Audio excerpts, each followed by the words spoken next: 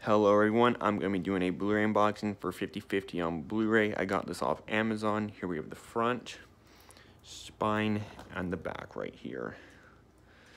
Special features are audio commentary with Seth Rogen, director Jonathan Levine, and writer Will Reiser.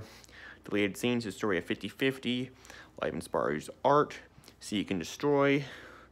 It's rated R for uh, language throughout, sexual content, and some drug use, and it's region A. The runtime is 100 minutes.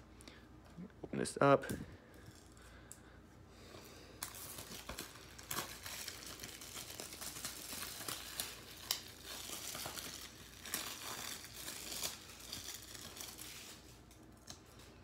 And here we have the disc, which is in plain blue, and it's an eco case I'll have to swap out.